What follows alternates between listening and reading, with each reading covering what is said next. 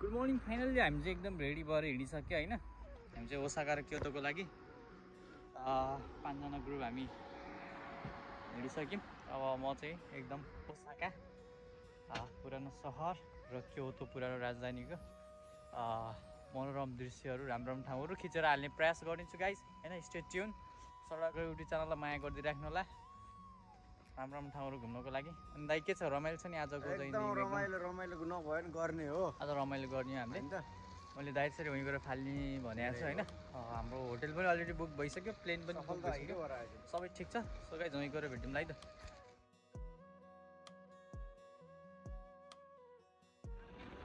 हाम्रो चाहिँ टक्क अब ब्यागेजहरू लकिङ गर्दैछ चेकिङहरूको लागि।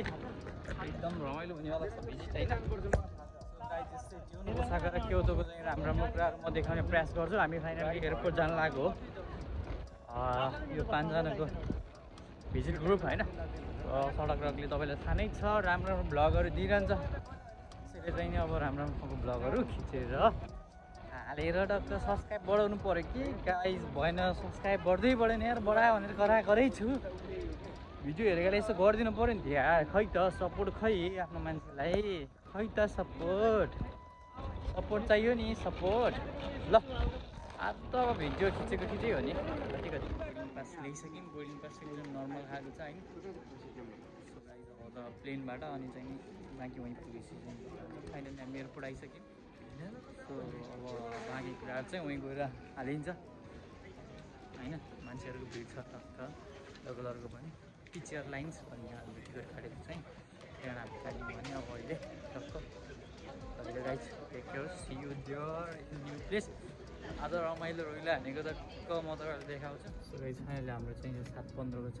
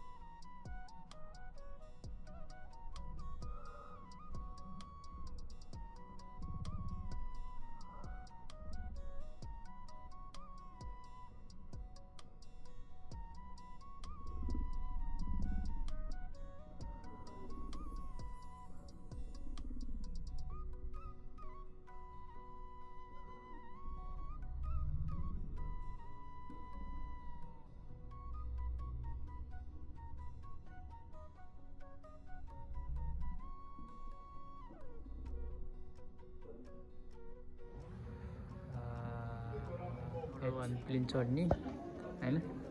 स्यागन जापानको डोमेस्टिक एयरपोर्टको यस्तो नर्मलै हुन्छ बनाउँछ होइन?